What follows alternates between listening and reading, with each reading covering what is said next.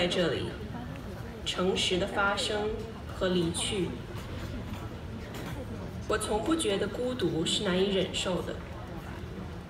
我和我的灵魂坦白的互相倾听，面对误解和非议，心在飘摇中觉醒，在展开的眉头里，活出一场释怀的美丽。我想象自己在这种自由里，舞若无人之境。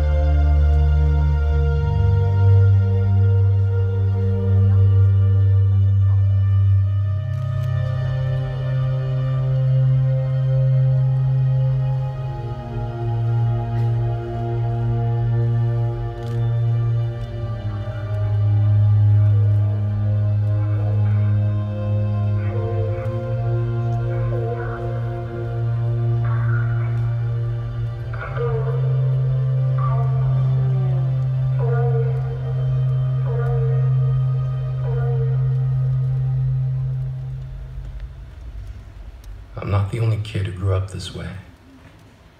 Surrounded by people who used to say that rhyme about sticks and stones. As if broken bones hurt more than the names we got called, and we got called them all. So we grew up believing no one would ever fall in love with us. That we'd be lonely forever. That we'd never meet someone to make us feel like the sun was something they built for us in their tool shed. So broken heartstrings bled the blues as we tried to empty ourselves so we would feel nothing. Don't tell me that hurts less than a broken bone. That an ingrown life is something surgeons can cut away, but there's no way for it to metastasize, it does. She was eight years old. Our first day of grade three when she got called ugly. We both got moved to the back of class so we would stop getting bombarded by spitballs the school halls were a battleground where we found ourselves outnumbered day after wretched day. We used to stay inside for recess because outside was worse. Outside, we'd have to rehearse running away or learn to stay still like statues, giving no clues that we were there in grade five. They tipped a sign to the front of her desk that read, Beware of dog. To this day, despite a loving husband, she doesn't think she's beautiful because of a birthmark that takes up a little less than half her face. Kids used to say she looks like a wrong answer that someone tried to erase but couldn't quite get the job done. And they'll never understand that she's raising two kids whose definition of beauty begins with the word mom. Because they see her heart before they see her skin. Because she's only ever always been amazing. He was a broken branch grafted onto a different family tree. adopted. Not because his parents opted for a different destiny. He was three when it became a mixed drink of one part left alone and two parts tragedy. Started therapy in eighth grade. Had a personality made up of tests and pills.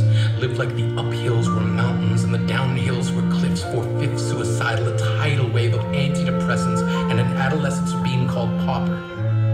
One part because of the pills, 99 parts because of the cruelty.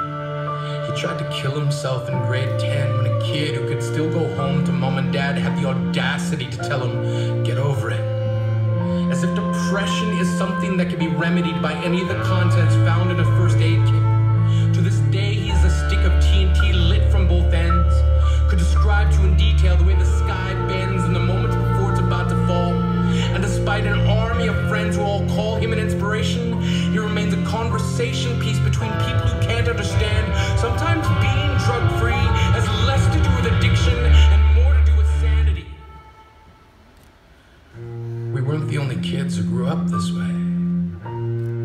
To this day, kids are still being called names. The classics were hey stupid, hey spaz. Seems like every school has an arsenal of names getting updated every year. And if a kid breaks in a school and no one around chooses to hear, do they make a sound? Or they just background noise from a soundtrack stuck on repeat when people say